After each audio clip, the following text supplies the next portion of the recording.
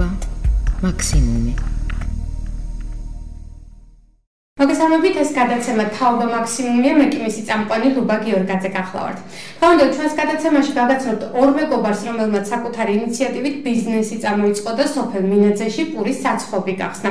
რატომ გაუჩნდათ ეს იდეა ახალგაზრდებს სადახდენენ რეალიზებას და როგორია მათი სამომავლო გეგმები? ამას ჩვენი სტუმრები ამირან ბარძიმაც და ილია ქაშიშევი თავად გვეტყვიან. მოგესალმებით მადლობა გადაცემაში მონაწილეობისათვის.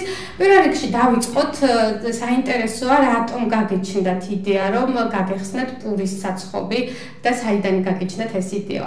ამიტომ თქვენ როგორ გითხართ? გამარჯობათ, ანუ ჩვენ მეგობრებად იცით და ანუ ქონდა ბიზნეს იდეები, მრავალია, თავს გაგვიხორციელები აქამდეც, ასახეთ 15-16 წლიდან ამდენად გასაკვირა უნდა იყოს და უბრალოდ ქონდა გეგმაში სამომავლოდ რომ გაგვეხსნა ფურნე, გვინდა და საცხობი. შემდეგ გავიგეთ ეს რეგიონალური განვითარების ცენტრი აფინანსებს და შემდეგ დავწერე მან და მოვიკეთ გავიმარჯვეთ გრანტში, დაგვაფინანსეს 2600 ლარით და გავაკეთეთ მინაზეში, რადგან იქ ფართი ასე ვთქვათ, პაპისეული მიწა და ანუ ქირა არ გვიწევდა და უბრალოდ დავიწყეთ პირველი იქ. და გამახორციელეთ, ну, რო გითხათ სიმართლე, აა ჩვენ არც კი ვიცოდით ამდენად მომზადებულები არ ვიყავით, მაგრამ ახან მუშაობდით და ერთმანეთს გვერდჩევით და იქით გამოგვივიდა ასე ვთქვათ. რამდენი ხნის წინ დაიწყეთ? ანუ თქვენ ერთმანეთს მეგობრები ხართ და ერთმანეთს ესე დაუკავშირდით, ერთდროულად გადაწყვეტეთ, რომ ერთი ბიზნესი ერთად ვიზიტები დიახ, ბავშვობიდან ერთად მეგობრები ხართ. საინტერესოა რამდენი წლის წინ თუ რამდენი თვის წინ როდის გავხსენეთ საცხობრივი და ეს პროცესი ზოგადად რამდენად რთული იყო თქვენთვის, რომ უკვე ამ ეტაპამდე მოსულიყავით და საცხობი გქონოდათ?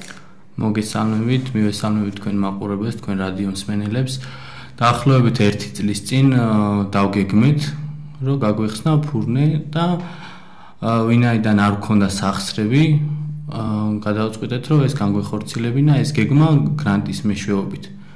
თავიდან ქალაქში გვინდოდა, რომ მომხდარიყო ეს ფურნის აშენება, მაგრამ მე ვინაიდან ქალაქში უკვე ბევრი ფურნია, გადავწყვიტეთ, რომ სოფელში გაგვეკეთებინა და დაგვესაქმებინა სოფლის მოსახლეობა. ამ თანხის რაც თქვენ ასე ვთქვათ მოიგეთ გრანტის სახით, კიდევ ვინ დაგეხმარათ რა დახმარება გქონდათ იმისათვის, რომ თქვენი იდეა საბოლოოდ ჩვენი სახსრის სახსრებით მოვიძეთ და ოჯახის წევრები დაგვეხმარნენ, რა თქმა უნდა, მეგობრები აშენებაში, გარემონტებაში. ძალიან კარგი. ანუ, როდესაც თქვენ თქვით, რომ სხვადასხვა იდეები გქონდა გარდა ფურნის საცხობისა, გარდა ფურნის კიდე პურის საცხობის გარდა კიდევ რა იდეები გქონდა თერაპიულად და რატომ გადაწყვეტეთ მაინც და მაინც ფურნი? ანუ, საცხობი გვინდოდა სხვადასხვა იდეებს, ანუ ახორციელებთ იყო რაღაც ბანაკი და ასეთ რაღაც ფიქრობდით, რაღაც ვაკეთებთ, რაღაც ზოგი გამოდიოდა, ზოგი არ გამოდიოდა და ну ეს დავიწყეთ და ბოლომდე მივყივით ასე ვთქვა სამსაქმეს და გამოვიდა უბრალოდ ჯერჯერობით ღმერთმა ქნას ბოლომდე ეს იყოს. ძალიან კარგი. რეალიზებას სადახდეთ, ესეც საინტერესოა. სოფელში ვეხდება ადგილზე თუ კიდევ სად ხდება? სოფელში მინაძეშიც ხდება რეალიზაცია ქალაქში და სოფელ კლდეში. Ну სამომავლოდ ვაპირებთ რომ ცოტა რო გავფართოვდებით და დიდი ფურნე გვექნება გავიტანოთ ახალქალაქისკენ ურავლისკენ და სხვა სოფლებში. ამ ეტაპზე მხოლოდ და მხოლოდ ახალციხეს მოიცავთ, ხო? ახალციხეს. ანუ ქალაქ ახალციხეს და კლდეს როგორც აღნიშნეთ. სუპერმარკეტებში შეფართავად.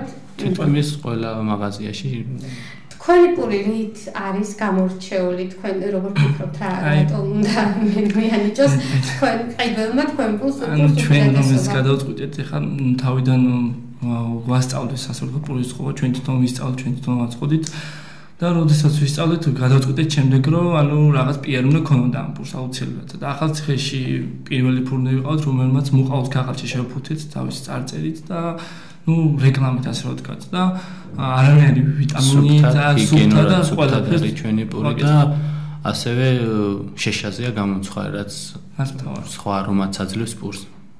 აა დასაქმებულები ყავთ ხო? ადგილობრივები არიან დასაქმებულები. ადგილობრივები და ქალაქიდანაც. ძალიან კარგი. ალბათ აღმოშეფუთვითაც გაგიცნოთ, ხო? თქვენმა ასე ვთქვათ მომხმარებელმა. საინტერესოა რა რა გიჭდებათ ამას თანხა ხომ ჭირდება ამ შეფუთვას რამდენად ძვირია და რამდენად შეესაბამება ეს თქვენს შემოსავალს, რაც პურის გაყიდვიდან შემოდის. საკმაოდ ძვირია.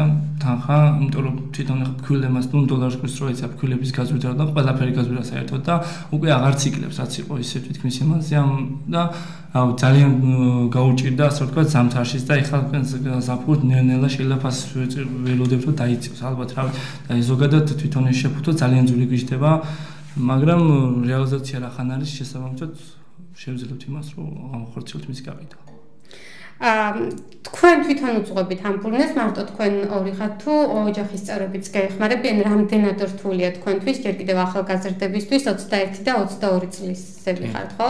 თქვენთვის რამდენად რთულია ამ ბიზნესის გაწყობა თავიდან საკმაოდ გაგვიჭირდა გქონდა ჩავარდნებიც მოგვეხმარნენ მეგობრებიც ოჯახის წევრებიც მაგრამ უკვე ერთწლიანი გამოცდილება გვაქვს დაახლოებით და საკმაოდ ეფექტურად უძღვებით ასე ვთქვათ ფურნეს. თვითონ პურის ფასი რამდენად შესაბამისია? იმ დაბალია ვინაიდან შეფუთულია რა. იყო არის ფასები იგივე რაც შეუფუთავი პური. ჩვენი შეფუთულია და იგივე ფასი ღირს რაც შეუფუთავი და რა რა თანხა ეს რა რაოდენობა? 5 თეთრი ჯდება ანუ ერთი შეფუთვა ამ ქაღალდი ძალიან კარგი. აა ძალიან საინტერესო საინტერესოა ისიც მინაძეში მხოლოდ და მხოლოდ თქვენი პურის საცხობია თუ მხოლოდ ჩვენ მხოლოდ არა მარტო ჩვენი პურის საცხობია. ძალიან კარგი. აა რაც შეეხება ყოველდღიურად დაახლოებით რამდენი პურის გამოცხობა გიწევთ და ეხლა ანუ 24 საათი მუშაობ თითქმის საათ 800 პური 900 პური გააჩნია შეკვეთებს ყოველდღიურს ანუ მაქსიმალურად ვერ გათვლი იმიტომ რომ მაღაზიას ზოგს შეიძლება ერთი დღე მეტი უნდა ერთ დღე ნაკლები და დაახლოებით 800 წლამდე ეხლა ამ გარდა პურის უკვე სამომავლოდ სხვა სხვა რამის გამოცხობას ხომ ვფიქრობთ იგივე ლობიენი ხაჭაპური და ასეთი ცომეული ხელი შეგვეწყო რა თქმა უნდა აუცილებლად გავაკეთებთ ძალიან კარგი.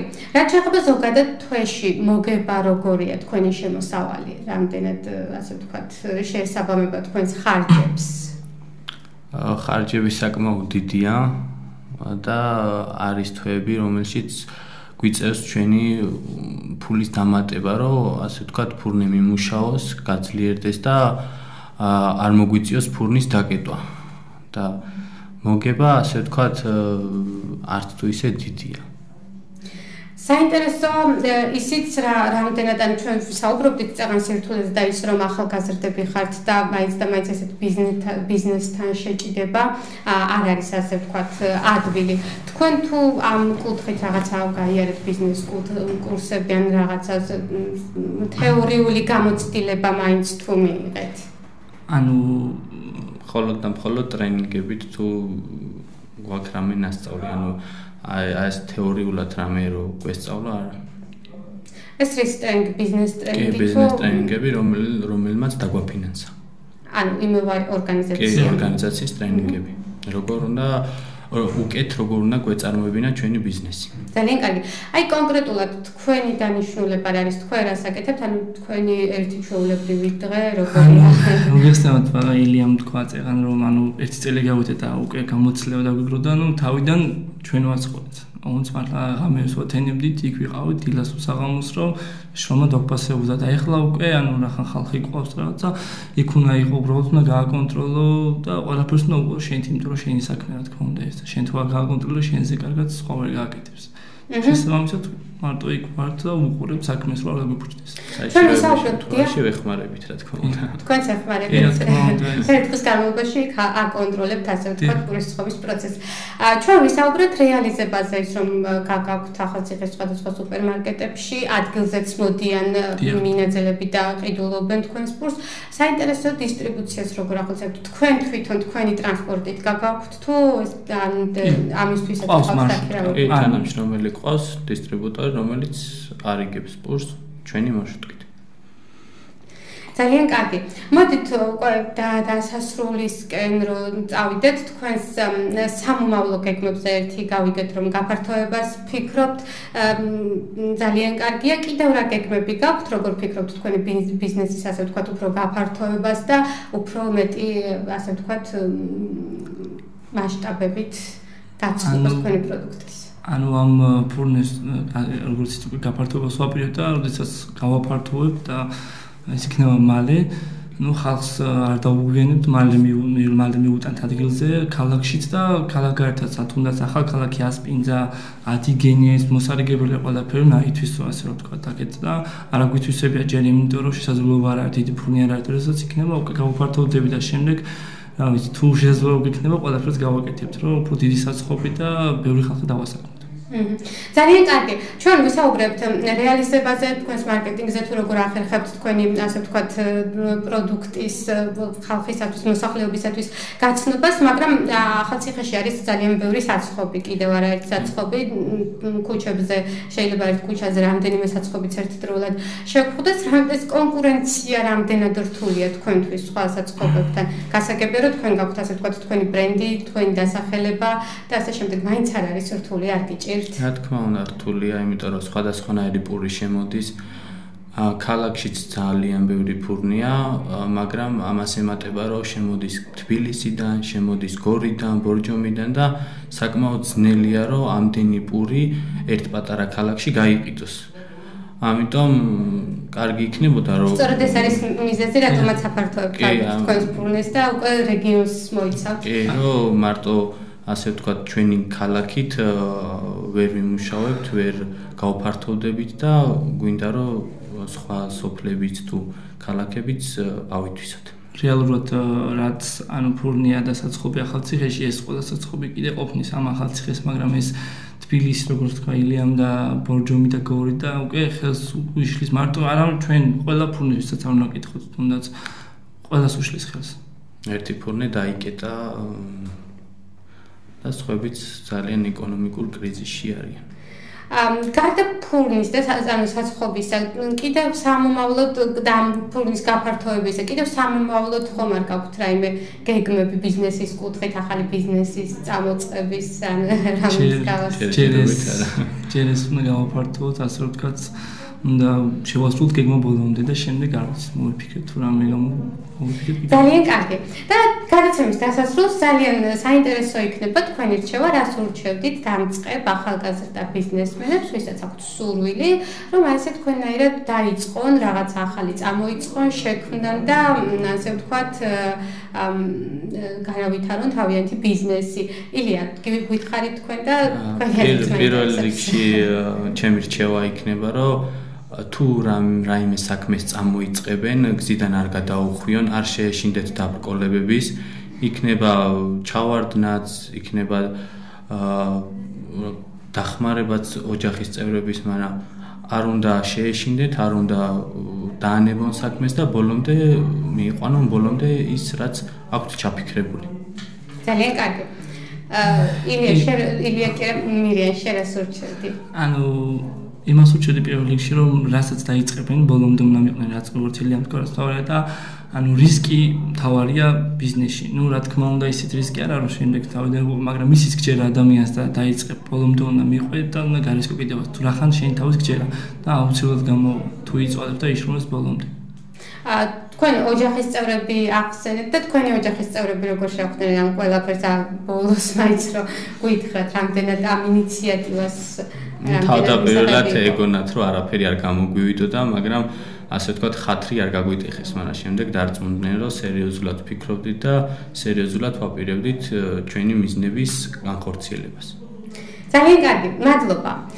მე წარმატებებს გისურვებთ და როგორც ჩვენ ახალგაზრდა ბიზნესმენებმა აღნიშნეს, მთავარი მიზანი და რისკი არის იმისათვის, რომ თქვენი ასე ვთქვათ, სურვილი განახორციელოთ და წამოიწყოთ ბიზნესი, ვისაც რა თქმა უნდა სურვილი გააქვთ, რომ იყოთ დამწყები ბიზნესმენები, მე წარმატებებს ვსურვებ ჩვენს სტუმრებს და მადლობას ვეთქვი გადაცემაში მონაწილეობისათვის. თქვენ კი შეგახსენებთ, რომ ჩვენ ჩვენი გადაცემის სტუმრები ახალგაზრდა ბიზნესმენები ამირან ბარძიმაძე და ილია ქეშიშევი იყვნენ, რომელიც თავიანთი ბიზნეს საქმიანობის შესახებ გვესაუბრებოდნენ.